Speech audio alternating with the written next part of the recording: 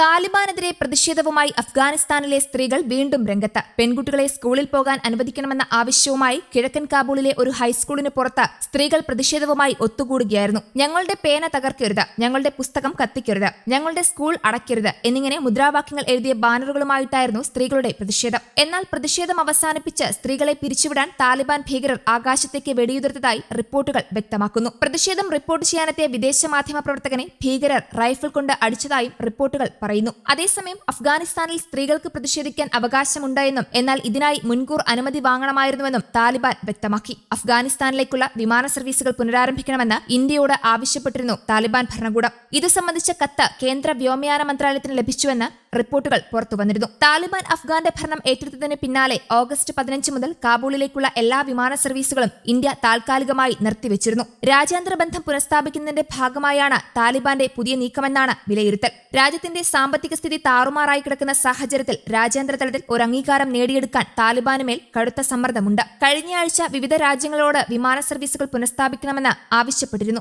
അതേസമയം രാജ്യാന്തര വിമാനങ്ങളുടെ സർവീസുകൾ നിർത്തലാക്കിയതിനാൽ അഫ്ഗാനിൽ നിന്ന് പഠനത്തിനും ജോലിക്കുമായി മറ്റ് രാജ്യങ്ങളിലേക്ക് പോകുന്നവരെ വലിയ തോതിൽ ബാധിച്ചതായി താലിബാൻ അറിയിച്ചിട്ടുണ്ട്. കാബൂൾ വിമാനത്താവളവുമായി ബന്ധപ്പെട്ട പ്രശ്നങ്ങളെല്ലാം അവസാനിച്ച് ആഭ്യന്തര രാജ്യാന്തര വിമാന സർവീസുകൾ ആരംഭിക്കാൻ പൂർണ സജ്ജമാണെന്നിരിക്കെ എല്ലാവിധ സഹകരണവും ഇസ്ലാമിക് എമിറേറ്റ്സ് ഓഫ് അഫ്ഗാനിസ്ഥാൻ വാഗ്ദാനം ചെയ്തതായി വിവരങ്ങളുണ്ട്.